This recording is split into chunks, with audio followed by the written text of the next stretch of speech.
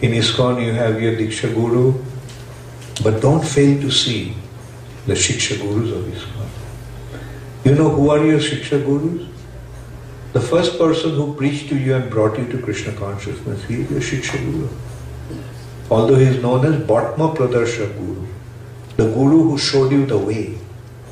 Uh, but he is, according to Shastra, he is your Guru. And Bhatma Pradarsha Guru, Haribhakti Vilas is saying there are three types of Gurus. First is Bhatma Pradarsha Guru. Bhatma means path.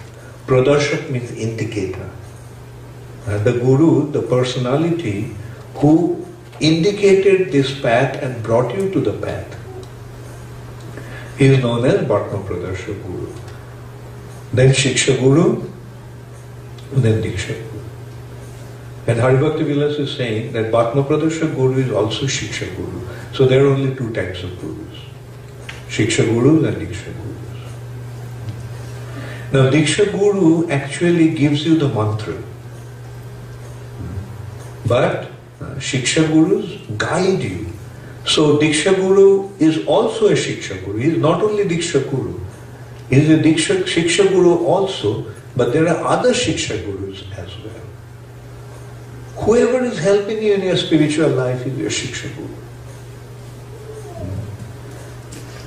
So this is actually a process of Guru disciple.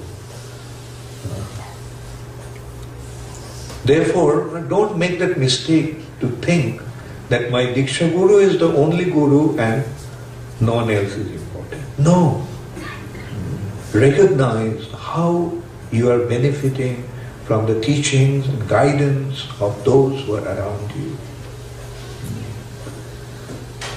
And when you read the 11th canto of Srimad Bhagavatam, uh, you will see that Uddhav Gita, Uddhav Gita is talking about 24 gurus.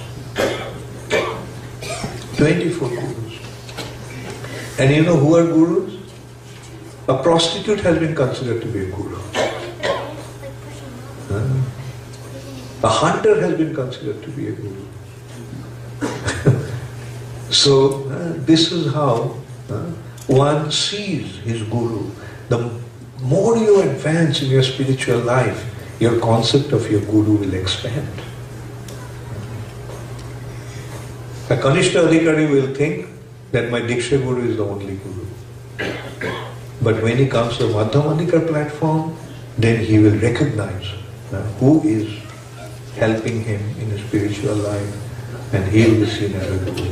And you know what is the identity of an Uttamadhikari?